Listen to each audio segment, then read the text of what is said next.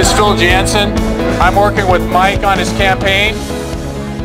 And just want to start by saying thank you all for coming out here tonight. Uh, we appreciate your support for this campaign. As you know, it's a monumental campaign year, and it's very important to get the right guy in the right spot. And as I've been telling people I'm talking to, we need to get people in Olympia with experience, not going to get experience. So I thank you for coming. Um, if I could bring up Val, he'd like to start us off with the invocation. I'd like to introduce Matt Van Hook. He's a veteran in our area, sergeant uh, in the Army, recently uh, returned to the area. Matt, if you would lead us in the Pledge of Allegiance, please. Flag is to my front. I pledge allegiance to the flag of the United States of America and to the republic for which it stands, one nation, under God, indivisible, with liberty and justice for all. Thanks, Matt. Thank you all. And now I'd like to introduce, most of you, and probably everybody except me, has known uh, Sheriff Knezovich for years. And I'd like to bring him up to say a few remarks uh, to introduce Mike. Sheriff Knezovich.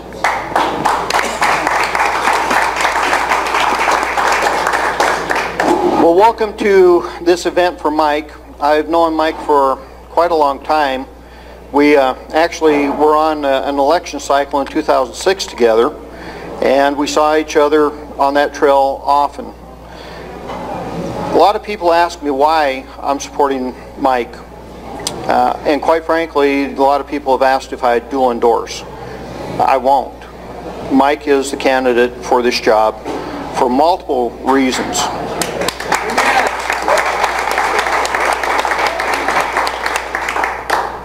One of which he has life experience. He knows what, it, what it's like to be a working person.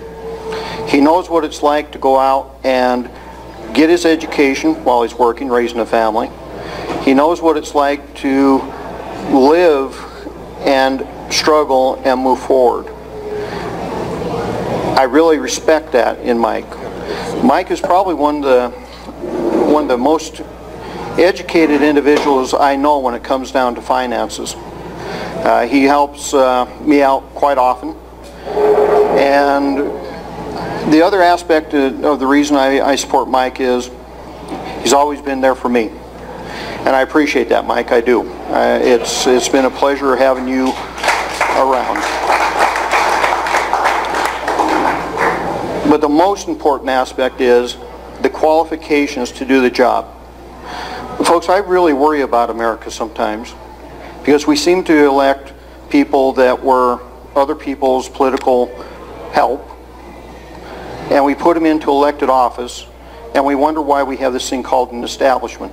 That's how the establishment is formed. We don't go and look for good candidates. We don't go and look for those people that have done the job or have lived life and have built those credentials after all these years of doing the things that he has done, raising a family, working, helping Rob with uh, the, the uh, treasurer's office, Mike has that experience needed to do this job. And Mike is concerned about us, not his next political career.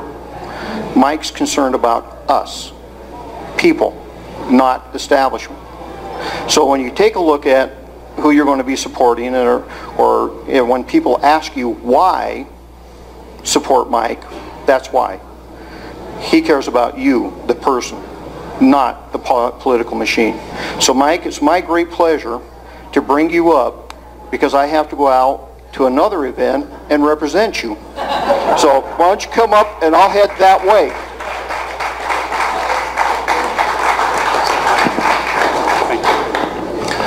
Right, thank you, Sheriff. Onward and upward, you have a mission. So, uh, you know, it's really great when you have the sheriff come to you and endorse you enthusiastically and he says, tell me what you want and I will do it. I guarantee if I called him up and said, let's go put up signs, he would help. So I would, I would be remiss if I didn't introduce a couple other elected officials. Uh, first of all, my boss, Rob Chase, uh, Spokane County Treasurer. Um, a- another guy who's been out putting up signs, knocking on doors, and doing whatever I've asked in, in helping me get this done. Also, uh, we have uh, Bob McCaslin from the 4th District, uh, representative. Uh, Matt Shea from the 4th District, most... And, and John Ahern, the legendary John Ahern, the math the myth, the legend, uh, sixth district state representative. So it's a pleasure to have John here. I've known John, I think, a little longer than I knew the sheriff. I think, uh, when did you first run, John? '04? 2000. Okay, well, sometime in there, I, I met you helping out on your campaign way back when. So uh, even before when I ran, and, and, and John has a unique privilege. He was either the first or the second elected official ever to endorse me uh, when I ran for auditor in 2006. So thank you for being here, John. So am I missing any other elected officials that I didn't see slip in? Okay. So we got that covered, that checked off. So why am I running? And I think that the, the sheriff um, kind of nailed it. I, I'm concerned about our community. I'm concerned about our state. I'm concerned about Spokane County. And when we look around, there's a lot of issues and a lot of problems facing the state. And I think you know, we, we, can talk about education, we can talk about infrastructure, but the number one thing that we really need to talk about is how we're going to get jobs into Washington State. Because right now our tax code is so punitive, our regulatory environment so oppressive that uh, business, they don't want to come here. And the businesses that are here want to leave. They're looking at Idaho. They're looking at other states and other places. And I'll give you a great example. Get on I-90, head east, hit the border and look up on the hill and what do you see? Cabela's. Does everybody know where that was supposed to be? It's Spokane Valley. That was supposed to be in Liberty Lake or Spokane Valley. And when you think about it, Cabela's wouldn't tell me how much money they had in gross sales. But the Walmart next to them, uh, the average Walmart is, is $50 million a year. If that Walmart's in Washington State, that's $4.5 million in sales tax revenue alone. So maybe double that for Cabela's, I don't know. Uh, so we're losing a lot because of our punitive business environment. It's highly destructive um, to the businesses that we have and recruiting businesses. Cabela's is not alone, by the way. Buck Knives, everybody know about Buck Knives? They were going to be in Washington too, and they said, no thanks, we'll take a pass. And you look at, uh, there's a, a, furniture manufacturer, a trailer manufacturer, I think a biomed company or two, and more and more. And when you look at some of those stores, not only are we not getting them into Spokane County, uh, we actually drive to go shop there, go through a Cabela's parking lot on the weekend. I did this once. I counted the license plate. About half of them, half of them were from Washington State. So not only are we losing that tax income and those jobs and that prosperity, we're actually exporting our tax dollars into Idaho uh, because we all go shop out there. And more and more people are doing that. They'll go out to Cabela's, they'll hit Walmart's, Costco, the gas station. If they drink and smoke, they'll pick up cigarettes and booze, and then they'll come back into Washington State and go home. Uh, so I think we can do better, and there's a few ways, and I won't get too wonkish on the tax code of Washington State, but I've spent um, better part of a decade and a half familiarizing myself uh, with the tax structure in Washington State. Uh, to suffice to say, it, it is highly, highly punitive against business, and it's getting worse so. And when I get to Olympia, I will, I will be able to hit the ground running. I will be able to understand what changes need to be made, and I will be advocate, advocating for small businesses in a big way, and big businesses, because we need those jobs. You, you know, the, the, the, the key to any sort of, of society is, is economy. We need a strong economy. We need to be, uh, have growth and opportunity for all of our citizens in Spokane County. And we talk about, you know, things like living wages and economic development, but really a living wage is a function of a flat job market, right? If there was jobs in Spokane and there was competitive pressure for labor, wages would go up.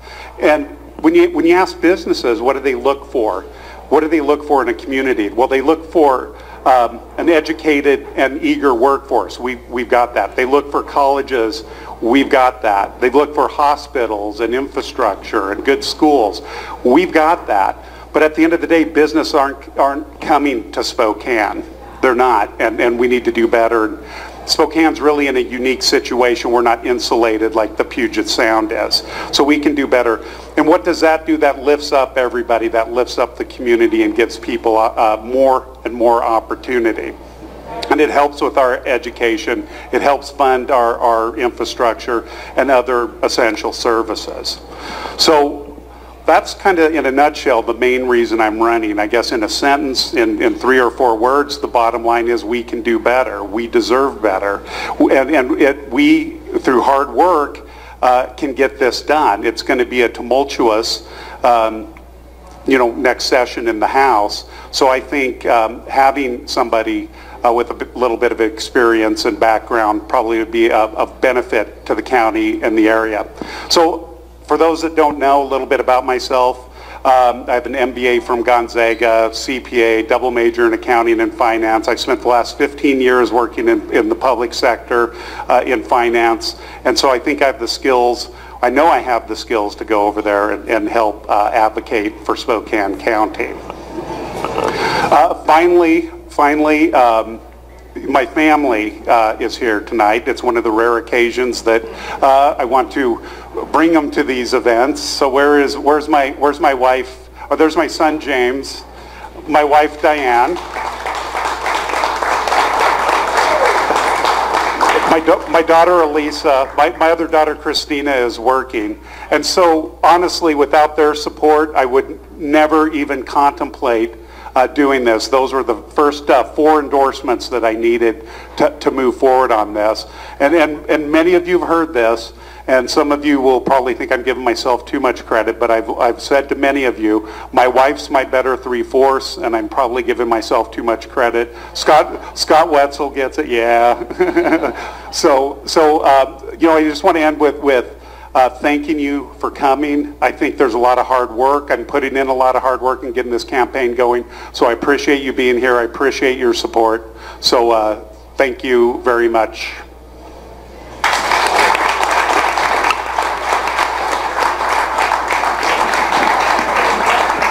Uh, Mike's actually given me way too much credit to be three quarters, one quarter. It's more like seven eighths, one eighth as far as who's better. But uh, I've known Mike for over a decade. I had the pleasure of first meeting him. I think Mike was at a sixth grade uh, offsite grade school camp where uh, he was hard selling like a NFL agent his son James as the next coming of Walter Jones uh, from the Seahawks. And if you all look at him now, you can see why. I mean, he was almost that big when he was in sixth grade.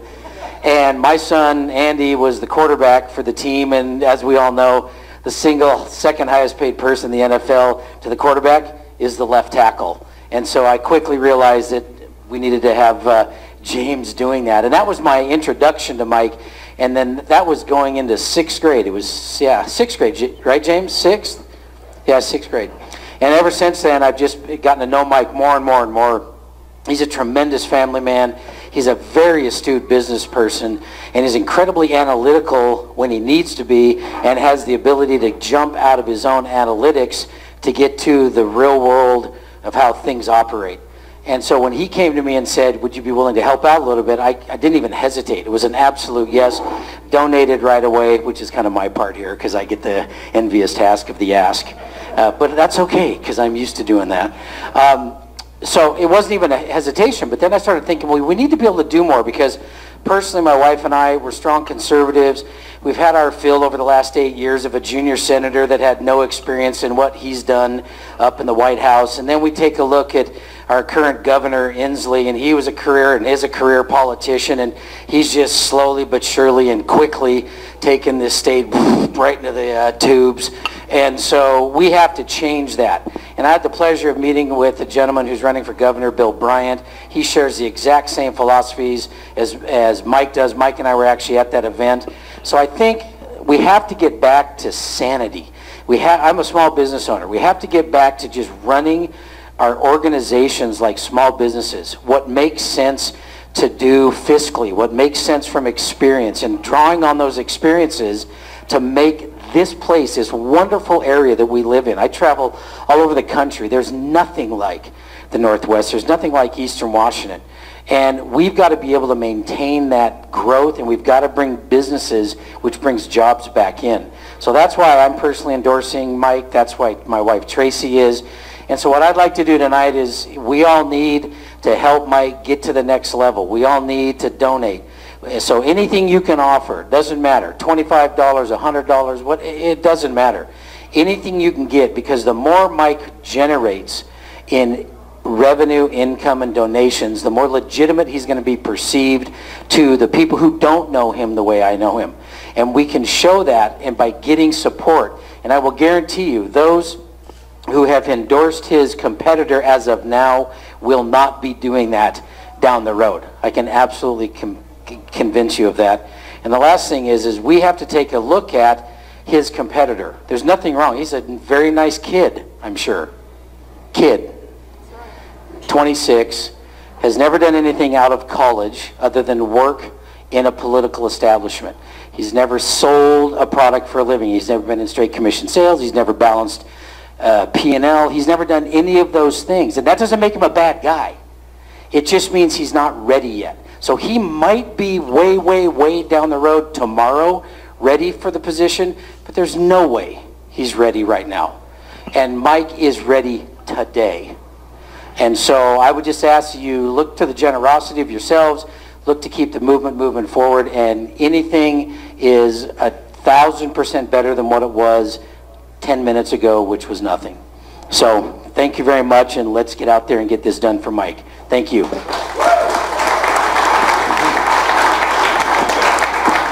Thanks a great deal, Scott. Just one last speaker, I'd like to bring up Rob Chase. Um, he doesn't know I'm going to do this, but I want him to let you know how you can help if you're like me, and Rob will tell you the same thing. If you don't have 150, even $1,000 sitting around to contribute to a campaign, I want Rob to talk to you a little bit about how else you can help. Well, thank you, Phil. Um, does any, how many people here have an extra thousand dollars on them? Oh. Well, I don't. But um, you know what you can do if you don't have an extra thousand dollars on you, the equivalent of that is walking your precinct and it probably takes about eight hours. You know, some people join fitness clubs. They do the same thing on a treadmill. Well, you can get out and meet your neighbors, you know, if you're in that precinct. Or, and it's really not, it's actually kind of fun once you get going. It's summer, a lot of nice evenings, you know. You put a, you know, maybe an hour or so in an evening and then a couple on a weekend. And before you know it, you're, you're finished a precinct. And that's the equivalent of a $1,000, I think. And we can do that. You know, Mike doesn't have the money that um, Ian has. You know, Ian's already got a head start and he's sort of an anointed person. But, you know, we've got to have Mike there. It's important, not whether you live in the 6th District or not, but for the whole effort in Olympia. I think he would join Matt Shea and um, Bob McCaslin and other luminaries there. And we would turn this, this um, uh, whole state upside down from the way it has been. We, we would turn it in a whole different direction. And Mike has a stamina to do that. He's the only person to know who has actually finished War and Peace. And that, that really that really impressed me, and I hired him as soon as I found that out. So I think there's a sign-up sheet. If you know, give what you can, but also uh, I know if we can doorbell uh, all these precincts. I've doorbelled a couple so far. I intend on doorbelling a couple more. Same with Tony Kippy and a few others. But if we could get them all doorbelled, that would be an automatic victory for Mike, both in the primary and the general. So uh, consider it, thank you, and do it for the effort. God bless you all.